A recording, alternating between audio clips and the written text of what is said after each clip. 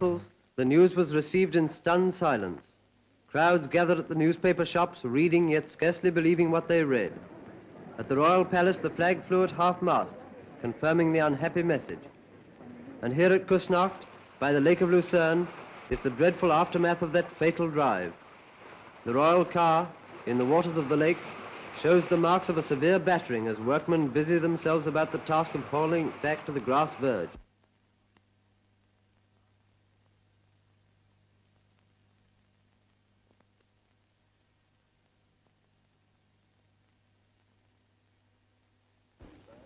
This is the little raised curb straddled by the car before its last wild plunge into this tree. And in this place, dignified by the outward symbol of human sympathy, were passed the last living moments of a lovely and beloved queen. The return to Brussels, left in the health and vitality of youth, here is a story told in harsh simplicity. At the Gare du Nord, a guard of honor formed by infantry and cavalry waited in the square as the corps du cortege clattered off in the wake of the hearse. Crowds of loyal subjects had stood bareheaded for many hours to witness the homecoming of their queen, so young to die.